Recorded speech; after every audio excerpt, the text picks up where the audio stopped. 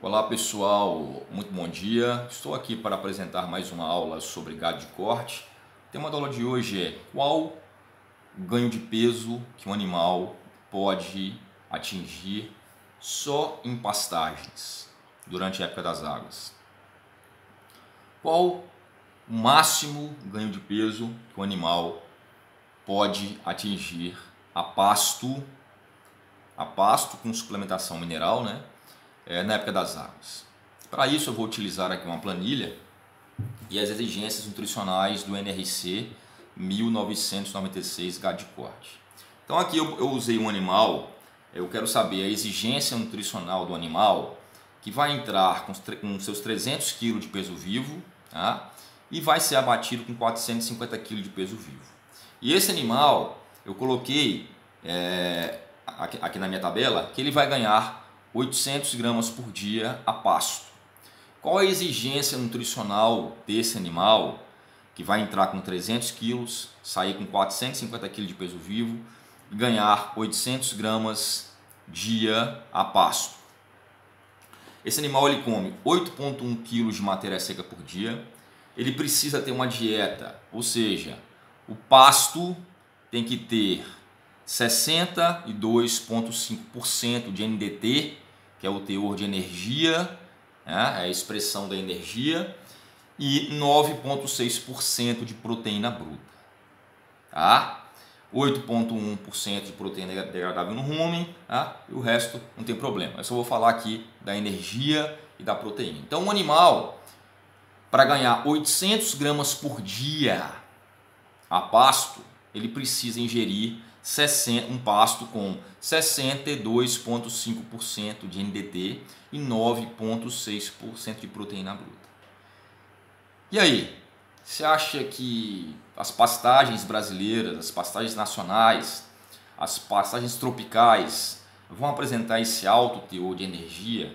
Qual o teor de energia de uma, qual o teor de energia mínimo né, é, que uma forrageira com a forragem tem? Olha só, é, um pasto de boa qualidade, excelente qualidade, um pasto de excelente qualidade, adubado com nitrogênio, um pasto rotacionado, né? é, o animal comendo só ponta de capim, podendo selecionar, é, um pasto de mombaça, irrigado, adubado, manejado de forma correta, rotacionado, ele pode apresentar até um valor até superior a esse aqui. Porque o animal está comendo só folha, o animal está comendo só ponta de folha, e o ganho pode chegar até 900 gramas por dia num pasto de excelente qualidade. Mas a grande, a grande maioria das pastagens, das, das nossas pastagens, não são manejadas de forma adequada, de forma a, a, de forma a ter esse alto teor de energia. Então a média na, das nossas pastagens está em torno aí de 54% de NDT, estourando 58% de NDT, tá? Então, se os animais estiverem num pasto de excelente qualidade, é possível ganhar até mais do que 800 gramas por dia a pasto.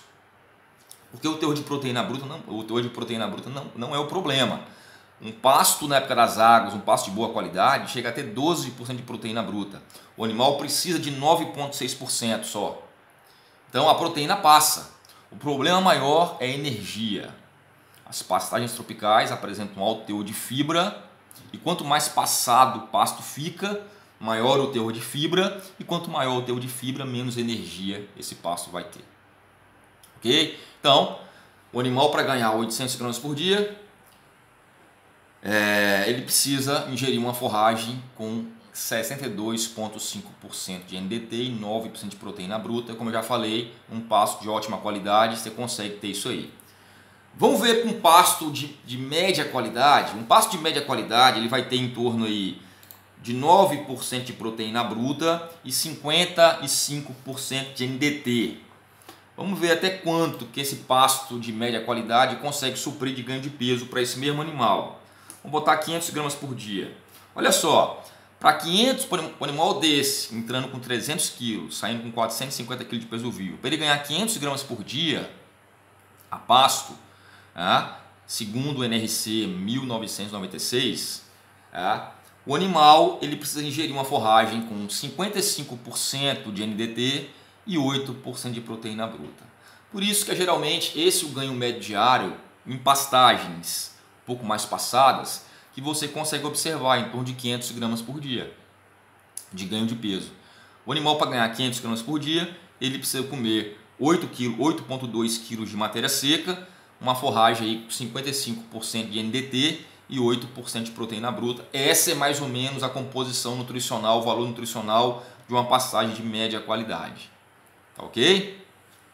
Professor, quanto que ele precisa para ganhar 600 gramas por dia? Vou fazer a simulação aqui. Ó. Para ganhar 600 gramas por dia, ele já precisa ingerir uma forragem com 57% de NDT e 8,6% de proteína bruta. Pessoal, um pasto que começou a brotar agora, o animal comendo só folha, muita oferta de forragem para ele poder selecionar, ele consegue ganhar também 600 gramas por dia tranquilamente. Não precisa ser nenhum pasto adubado, não, um pasto brotando, o animal poder ingerir uma maior quantidade de folhas, pasto verdinho, ah, uma boa oferta de forragem para ele poder selecionar, ele também consegue ter 600 gramas por dia. Não precisa para isso nem. Professor, quanto que esse animal precisa para ganhar um quilo de peso? Vamos botar um quilo. Ah? Olha, esse animal ganhar um quilo de peso a pasto, é, um animal de 300 quilos saindo com 450, ele já precisa comer uma forragem com 67,5% de NDT e 10,7% de proteína bruta. Você vê que a proteína não é o problema. Na época das águas, ah, é, o pasto consegue suprir a proteína. O problema é a energia. Tá? Ah, então por que você fala aí tem que fornecer proteinado na época das águas? Na verdade, a, o proteinado na época das águas ele ajuda também a, a, a fornecer energia para o animal, porque o proteinado ele tem fonte de energia também. Né? O proteinado de águas ele tem menos proteína e mais energia. Tá? E a fonte de proteína dele é uma proteína mais uma, proteína. Eu não, eu não, quando eu forneço um proteinado de águas, é, eu não estou focando muito na proteína degradável no rumen. Tá? Eu uso mais proteína verdadeira, tipo farelo de soja. Então, é fonte de energia também. Então, quando eu forneço um proteinado, eu estou, além das outras vantagens, fornecendo energia também para o animal. Com isso, eu consigo aumentar o ganho de peso. Tá? Então, para o animal ganhar um quilo de peso, ele precisa ingerir uma forragem com 67,5% NDT. E isso tem que ser uma forragem de altíssima qualidade. Dificilmente as gramíneas tropicais vão apresentar esse teor de NDT. Tá? Só se for um pasto muito bem manejado mesmo, no início das águas, um pasto bem manejado, mal comendo só folha, ele pode até atingir esse peso. Aí você pode falar, não, mas eu consigo um ganho de peso muito bom aqui. Como é que está pesando esses animais? Em jejum?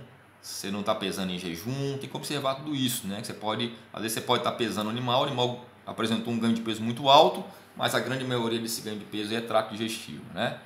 O certo é pesar o animal em jejum aí para que você tenha um ganho de peso real. Ok? Então, pessoal, essa foi mais uma aula. Tentei explicar aqui é, quanto que o animal pode é, atingir de ganho de peso apenas a pasto, utilizando uma forragem de boa qualidade, uma forragem de alta qualidade. Fiz três simulações de ganho de peso aí para um animal ganhando 1 kg de peso, o animal ganhando 800 gramas de peso, o animal ganhando 500 gramas de peso, o animal ganhando 600 gramas de peso. Tá bom? É, eu sou o professor João Gonçalves Neto, sou zootecnista. Esse é o canal Portal da Pecuária, que tem como missão e objetivo promover o desenvolvimento da pecuária nacional através da informação. Você pode contribuir com esse desenvolvimento simplesmente curtindo o vídeo, inscrevendo no canal e compartilhando esse material para que o maior número de pessoas possam ter acesso a ele. Como eu sempre falo, produtor bem informado é produtor de sucesso, é produtor que ganha dinheiro. Um abraço, sucesso sempre e até a próxima aula.